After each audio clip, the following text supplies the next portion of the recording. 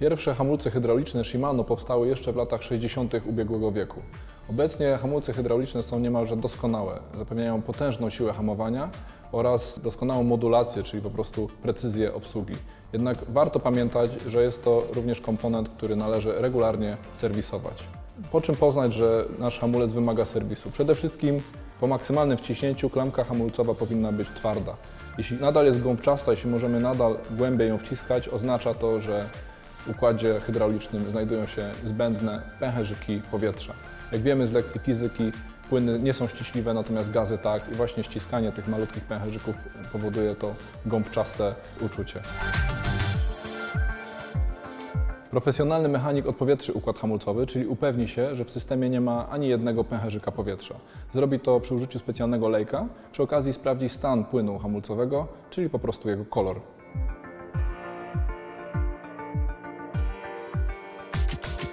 Kolejnymi niezwykle istotnymi elementami dla funkcjonowania układu hamulców tarczowych są oczywiście klocki i tarcze.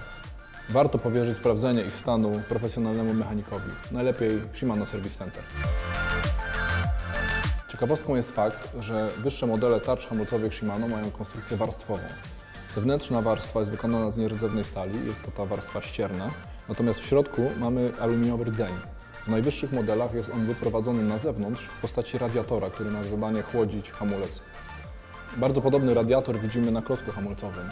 Te rozwiązania pozwalają obniżyć temperaturę układu o aż 150 stopni w porównaniu z klasycznymi modelami, ponieważ to właśnie ciepło jest największym wrogiem hamowania. Ale skąd mamy wiedzieć, jakie klocki hamulcowe wybrać?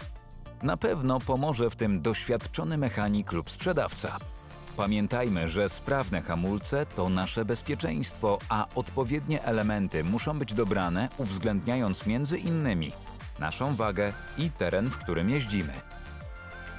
Dla przykładu, jeśli używamy tarczy zbyt małych do naszej wagi w górzystym terenie, możliwe jest tak zwane spalenie tarcz. Spalone tarcze będą miały charakterystyczne niebieskie lub tęczowe odbarwienia, które warto skonsultować z doświadczonym mechanikiem i ewentualnie rozważyć zakup tarcz o rozmiar większych. Z ich doborem pomoże nam na pewno specjalista dysponujący odpowiednim katalogiem.